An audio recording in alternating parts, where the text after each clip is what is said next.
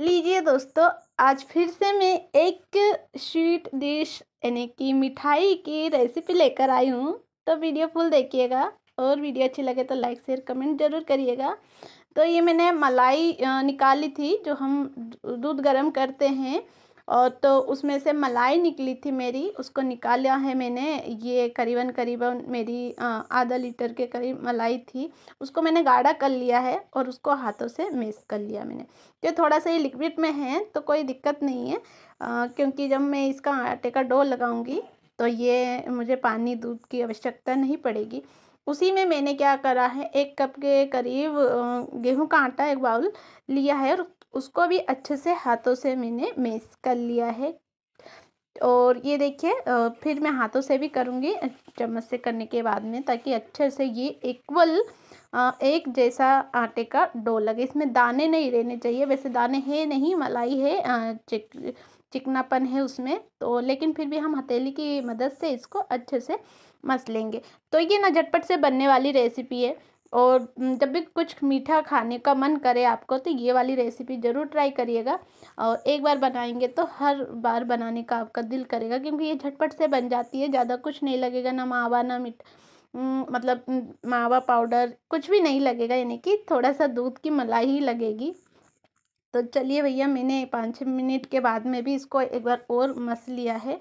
क्योंकि ये थोड़ा सा आटा था तो इसको ना पानी अब्जॉर्ब करने में, जो लिक्विड अब्जॉर्ब करने में पाँच से छः मिनट लग जाता है, फिर ये अच्छे से सॉफ्ट सॉफ्ट हो जाता है कुछ इस तरीके से। तो जैसे हम मावा वगैरह को गुथते हैं, उसी तरीके से गुथना है हमें इसको भी। इसको रखेंगे साइड में और फिर हम क्या करेंगे, इसके लिए मिठाई बना रहे हैं तो मीठा तो बनेगा शक्कर से चीनी से। तो चलिए, मैंने क्या करा, एक पेन लिया, उसमें एक करीब कप के करीब, बड़ा कप के करीब चीनी डाली है और जिस कप से मैंने चीनी डाली, उसी कप से डेढ़ से दो कप पानी मैंने इसमें डाल दिया है। आ, मैंने दो कप लिया है और आप जितना बना रहे हो उसको मीठा के हिसाब से आप लीजिएगा। इसको मैं अच्छे से मतलब एक तार से कम थोड़ा चिकटापन हो जाएगा तब तक मैं इसको पकने दूँगी। चलिए तो फिर मैं तब तक इसकी आ, मिठाई बना लेती हूँ मलाई वाली। तो क्या करेंगे हम? सिलेंडर के आकार में इसको ऐसे करके ना आप कोई से भी आकार में बना लीजिए लेकिन आज मैं सिलेंडर आकार में बिल्कुल मिनी सिलेंडर के आकार में थोड़े छोटे छोटे से, छोटे छोटे से इसको डिज़ाइन में बना लूँगी। बिल्कुल छोटे छोटे से, ये देखिए, इस तरीके से। और कितना ईजी है ना बनना। जब हमारा ये आटे का डो अच्छे से लग जाता है ना तो इसमें तीड़ वगैरह कुछ भी नहीं लेती। ताकि हम चाशनी में बटेंगे या फ्राई करेंगे ना इसको तो ये अच्छे से फ्राई हो जाएगी। तो सारे में इसने इसी तरीके से बना लिए। ये देखिए, एकदम है ना लुकिंग ज़बरदस्त। हाँ तो चलिए फिर क्या करेंगे, हम इसको फ्राई करेंगे। तो जब भी कुछ मीठा खाना मान करे ना, मलाई निकाल लीजिए और उससे ये रेसिपी बनाइए। अब मैंने क्या करा, चाशनी मेरी थोड़ी सी गाढ़ी हो गई थी, मुझे ज़्यादा गाढ़ी नहीं चाहिए थी थोड़ी सी ही चाहिए थी। उसमें मैंने थोड़ा सा इलायची दाना डाला और हाथों से इस तरीके से देखा तो हाँ परफेक्ट हो गई है, मैं इसको बंद कर दूँगी गैस को। और अब चलेंगे हम दूसरी ओर, ताकि हम भी ये मतलब जो मिठाई बना रहे हैं, वो जल्दी से फ्राई हो जाए और फिर टेस्ट करके बता सके आपको।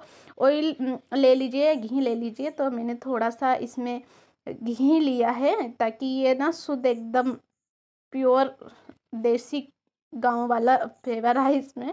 तो चलिए फिर हम क्या करेंगे, घी को हमने अच्छे से गर्म कर लिया है। फिर एक एक करके हम देख लेंगे पहले कि हमारा ऑयल अच्छे से गर्म हुआ नहीं, फिर एक एक करके हम इसमें डीप करेंगे। तो डीप करने से पहले आप एक बार चेक कर लीजिए, एक दो फिर डाल के। अच्छी फ्राई हो तो ही डालिएगा तो मैंने कर लिया था। अब मैं सारी इसमें डीप कर दूँगी।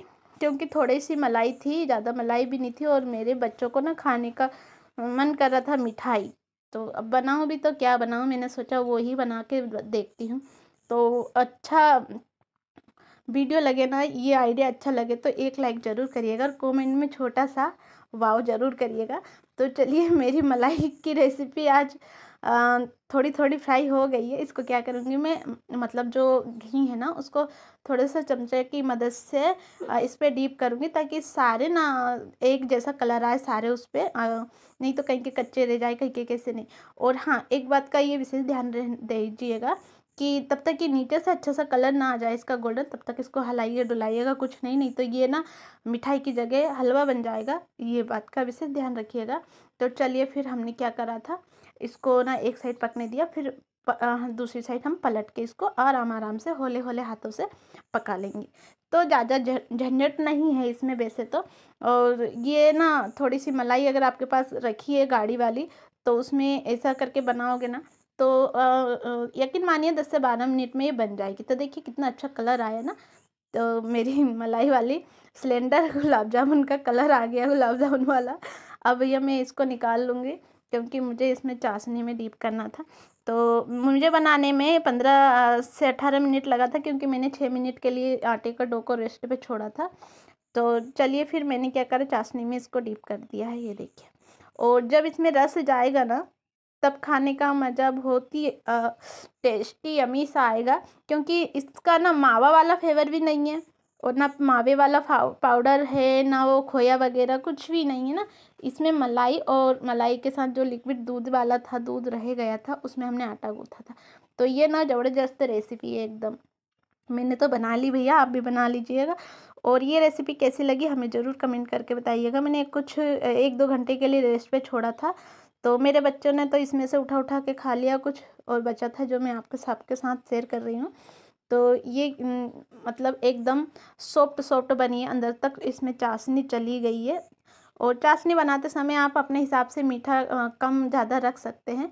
अब मैं क्या करूँ, नानी आई थी मेरे घर तो मैंने नानी को दिया, मैंने कहा, नानी, ये वाले गुलाब जामुन खा के बताओ ना, मैंने इसमें मावा मिलाया ना कुछ भी नहीं मिलाया, खाली मलाई से बनाई है मैंने। तो नानी को टेस्ट करके बताती हूँ। और मेरी नानी मेरे घर पहली बार आई है तो कुछ तो मीठा बनाना था तो मैंने ये वाला मिठाई बनाया है। उम्मीद है ये रेसिपी और ये मिठाई आपको अच्छी लगी हो। अच्छी लगी हो तो दोस्तों प्लीज़ सपोर्ट ज़रूर करिएगा फुल वीडियो देखिएगा लाइक शेयर सब्सक्राइब ज़रूर करिएगा। और हाँ ये मिठाई वाली रेसिपी अच्छी लगी हो, मेरा आइडिया अच्छा लगा हो तो प्लीज़ प्लीज़ सपोर्ट के साथ साथ हमें एक कमेंट ज़रूर करिएगा। और हाँ दोस्तों, मैं बहुत दिनों में वीडियो अपलोड करती हूँ तो प्लीज़ थोड़ा सा मेडिसन इश्यू चल रहा है मेरे साथ। तो मेरे लिए दुआ भी करना कि मैं थोड़ा जल्दी ठीक हो जाऊँ। चलिए तो भैया मैंने नानी तो को सबको भी मैंने इसी तरीके से दिया है। आई होप आज की ये मिठाई रेसिपी आपको अच्छी लगी हो। अच्छी लगी हो तो दोस्तों लाइक कर दीजिएगा एक दो और मिलते हैं अगले वीडियो में। कुछ इस तरीके से लेकर आएँगे आइडिया नए आइडिया के साथ। तब तक के लिए जय राम जी की हेल्दी खाइए हेल्दी रहिए और हमें सपोर्ट करिए।